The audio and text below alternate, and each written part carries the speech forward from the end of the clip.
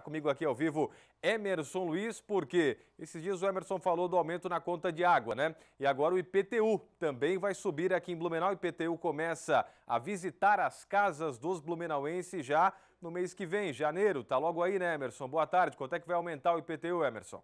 Boa tarde, Rodrigo. Boa tarde a todos ligados aqui no Balanço Geral.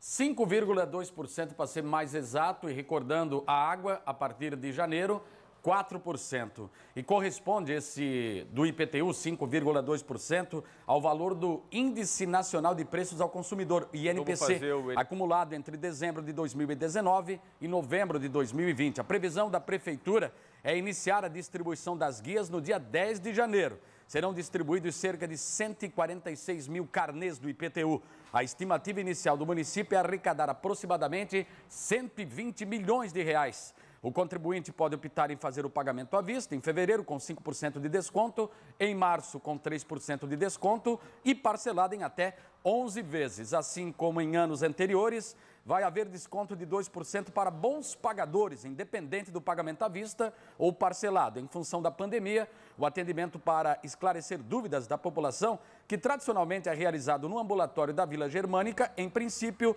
deverá ser feito pelo e-mail. Informações no iptu.blumenau.sc.gov.br. Água, então, 4% a partir de janeiro no SAMAI e agora o IPTU a partir de janeiro, 5,2%. Um processo natural, porque praticamente aumentou tudo esse ano e agora vai chegar a surpresa em janeiro nas casas do contribuinte blumenauense.